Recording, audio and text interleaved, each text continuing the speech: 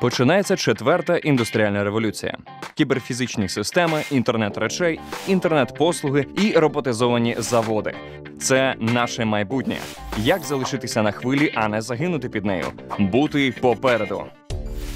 Двигун четвертої революції креатив. Ринок креативних послуг з 2002 до 2015 року збільшився більше ніж вдвічі з 200 мільярдів до п'яти сотень.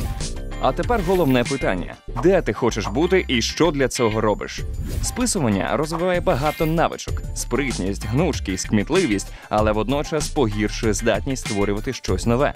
Тому кожного разу, коли ти свідомо плагіюєш, ти вбиваєш свою креативність. Ще більша пастка плагіат. Загалом це будь-яке привласнення авторства твору або використання частини роботи іншої людини без посилання на автора.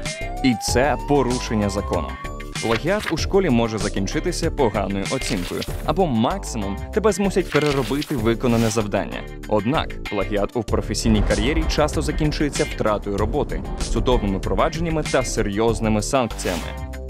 Так, аніматорка Келі Уилсон в межах досудового засідання довела, що компанія Disney сплагіювала її короткометражку Сніговик у трейлері до свого найкасовішого анімаційного фільму Крижане серце. Суд постановив, що будь-який адекватний суддя помітив би схожість сюжетів. Сторони конфлікту домовилися щодо компенсації без суду. Деталі не розголошуються.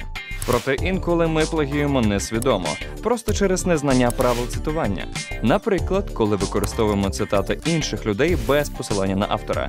Щоб не втрапити в пастку ненавмисного плагіату, просто завжди складай список використаної літератури і джерел до своїх письмових робіт.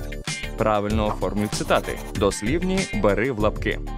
І з дослівними, і з перефразованими цитатами завжди вказуй автора.